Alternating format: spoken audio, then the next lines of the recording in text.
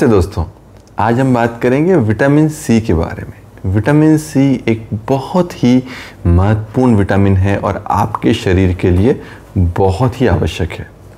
Vitamin C का scientific name anti ascorbic acid होता है। यह एक एंटीऑक्सीडेंट है, यह आपकी बॉडी में स्टोर नहीं होता है और एक वाटर सॉल्यूबल विटामिन होता है।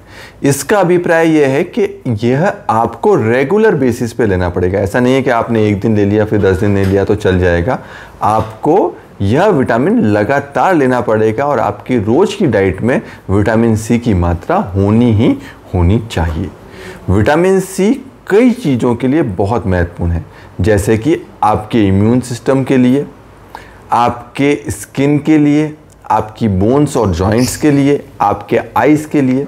तो कई सारी चीज़ों में ये लाभदायक है। अगर हम ऑर्थोपेडिक बात करें, हड्डियों की बात करें तो आर्थराइटिस के, को रोकने में ये बहुत ही लाभदायक है। स्ट्रोक को रोकने में ये बहुत लाभदायक है। स्किन की एजिंग को, स्किन की रिंकलिंग को रोकने में भी ये बहुत लाभदायक है।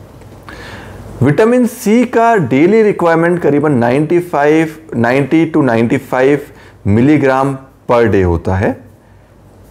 परंतु हम ये मानते हैं कि इसकी यूजुअल रेजिमेंट अगर आप सप्लीमेंट कर रहे हैं तो करीबन 500 मिलीग्राम पर डे होनी चाहिए। विटामिन सी रोज का आप दो ग्राम मतलब 2000 मिलीग्राम्स तक सप्लीमेंटेशन दे सकते हैं। परंतु अगर इससे ज़्यादा सप्लीमेंट देते हैं तो उसमें कुछ साइड इफ़ेक्ट जैसे कि डायरिया होना, पेट में दर्द होना, जी मचलाना पेट में गड़गड़ होना ऐसा हो सकता है। तो करीबन अगर आप विटामिन सी की नॉर्मल टैबलेट 500 हंड्रेड की होती है तो एक दिन में तीन या चार से अधिक टैबलेट्स का सेवन ना करें। विटामिन डी सी जो है आपको आमतौर पे जो है सिट्रस फ्रूट्स में ज़्यादा मिलता है। जैसे कि नारंगी संतरा हरी सब्ज़ियाँ, गाजर मूली ब्रोकोली टमाटर स्वीट पोटैटो और सभी हरे पत्तेदार सब्जियों में विटामिन सी भरपूर मात्रा में पाया जाता है। कच्चा सलाद आपके लिए लाभदायक है और सभी तरह के फल आपके लिए बहुत ही लाभदायक है। अगर हम फलों की बात करें तो खास तौर पे ध्यान रखें कि जो फल पूरे पक जाते हैं, उनमें सबसे अच्छी विटामिन सी की मात्रा रहती है। तो पके हुए फल जो है, वो खास तौर पे बहुत महत्वपूर्ण। एक बहुत ही महत्वपूर्ण चीज़ मैं आपको बताने जा रहा हूँ, विटामिन सी जो है, एक हीट लेबाइल विटामिन है। इसका अभिप्राय यह है कि ये भोजन को ज़्यादा गर्म करने से ख़त्म हो जाता है। तो बार बार भोजन को गर्म करने की आपकी आदत है तो वो विटामिन सी को, की मात्रा को खाने में कम कर देगी। तो हम ये मानते हैं कि क्विक हीटिंग बहुत हेल्पफुल है। जल्दी से उसको गर्म कर लें खाने को और कम गर्म किया हुआ खाना या कच्चा खाना जो है वह विटामिन सी आपको ज़्यादा देगा। साथ ही साथ पानी में भी कई कई कई बार हम देखते हैं कि कई लोग सब्ज़ियाँ बनाते हैं, कुछ बनाते हैं तो बहुत सारा पानी डाल देते हैं फिर पानी नितार देते हैं।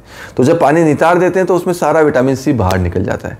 तो कम पानी में वो सब्ज़ी बनाएँ या जो भी आप पका रहे हैं वो पकाएँ और उस पानी जो आप, जिसमें आप पका रहे हैं उस पानी को निकाल नहीं दें क्योंकि जो विटामिन सी है वो उस पानी में ही रह जाता है। तो अगर आप खाना बना रहे हैं तो इन दो चीज़ों का अगर आप ध्यान रखेंगे तो विटामिन सी की कमी आपके शरीर में नहीं होगी। विटामिन सी न सिर्फ़ अपने लिए ज़रूरी है, परंतु ये आपके शरीर में आयरन का एब्जॉर्प्शन मतलब लोहे का एब्जॉर्प्शन भी बढ़ाता है, जिससे आपको अनीमिया या खून की कमी होने का रिस्क कम हो जाता है। विटामिन सी की अगर आपके शरीर में कमी है तो हीलिंग में प्रॉब्लम हो सकती है। अगर आपको घाव है तो घाव नहीं भरे, ऐसा हो सकता है। और मैं आपको कुछ एक हिस्टोरिकल चीज़ बताता हूँ कि विटामिन सी पुराने ज़माने में जो नाविक होते थे, उनमें ज़्यादा देखने को मिलती थी। सेलर्स होते थे, उनमें ज़्यादा देखने को मिलती क्योंकि वो बहुत दिनों तक फ्रेश फ्रूट सब्ज़ियाँ वगैरह नहीं खा पाते थे। और इन लोगों में ये देखा जाता था कि दांत में से खून आने लग जाता था जो घाव होते थे, वो घाव भरते नहीं थे। तो इसको सेलर्स डिज़ीज़ भी बोलते हैं। तो विटामिन सी की कमी से आपके कोलाजन फॉर्मेशन आपके जबड़ों में तकलीफ़ हो सकती है मसूड़ों में से खून आ सकता है, मसूड़े कमज़ोर भी हो सकते हैं। तो ये सब चीज़ों का अगर आप ध्यान रखेंगे तो आपको जो है विटामिन सी की कमी नहीं होगी। साथ ही साथ जैसे अगर आपको कभी भी कोई चोट लग रही है या आपकी कोई सर्जरी हो रही है और उसकी आप प्रॉपर हीलिंग चाहते हैं तो उसके लिए भी विटामिन सी बहुत ही आवश्यक है। खास तौर पे जैसे हमने बताया कि हम नॉर्मली जैसे लिगामेंट सर्जरीज करते हैं नी की या शोल्डर की कई तरह की हम रिकन्स्ट्रक्टिव सर्जरीज बच्चों में करते हैं तो उनमें विटामिन सी एक बहुत ही आवश्यक तत्व है आपकी शरीर की हीलिंग के लिए, आपके घाव की हीलिंग के लिए। सर्जिकल रिकवरी के लिए या किसी भी तरह की इंजरी की रिकवरी के लिए, कोई शरीर में कोई घाव हुआ है, उसकी रिकवरी के लिए विटामिन सी बहुत आवश्यक है और इन सभी मरीजों को जिनको भी हम सर्जरी करते हैं, उनको हम विटामिन सी सप्लीमेंटेशन देना रिकमेंड करते हैं। नॉर्मली आप 500 टू 1000 मिलीग्राम्स पर डे का सप्लीमेंटेशन बहुत सेफली ले सकते हैं। तो दोस्तों विटामिन सी याद रखिए, एक बहुत ही महत्वपूर्ण तत्व, बहुत ही आवश्यक तत्व आपके शरीर के लिए है।